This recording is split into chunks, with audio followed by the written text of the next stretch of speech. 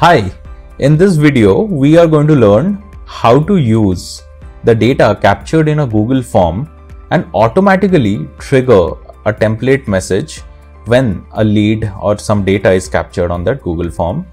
We will use DoubleTick to send a template message on a Google form submission. I'll go to DoubleTick and I'll go to the bot studio. In the bot studio, we are going to create a new bot. Okay.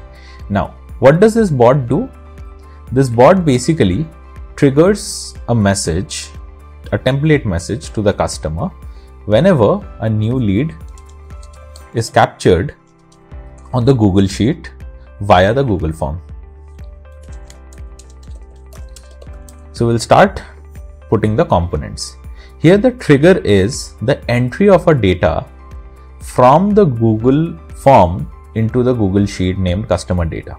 So we are going to come to triggers and use the trigger as on new row Google Sheet. Okay. So first time you would need to click on sign in with Google and you would have to select the account under which the Google Sheet exists.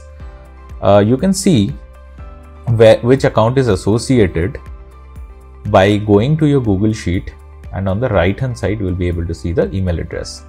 So this is the same one that you have to use. Once you allow all the permissions, you would be able to see the Google Sheet which is named customer data. Amazing. Now that the Google Sheet is being selected, we need to map the phone number column of the Google Sheet along with DoubleTick over here. So we'll click on select phone number column and here we have the phone number column which is basically our C column header, right? We are going to select over here. Next, we are going to go ahead and send a template message, right? Whenever there is going to be an entry into the Google Sheet. So we'll come to the action section and click on send template. We will link the two and we will select one of our template messages. Great. Now this part is pretty straightforward.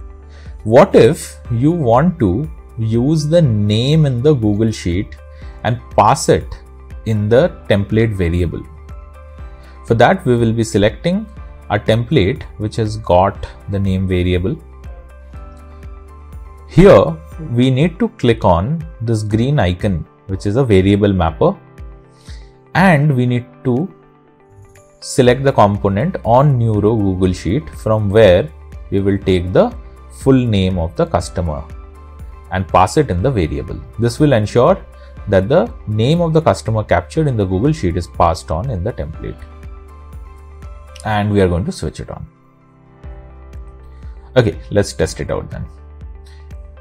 Here we are going to now enter the name of the customer the phone number and I click on submit. Awesome. We'll come to DoubleTick.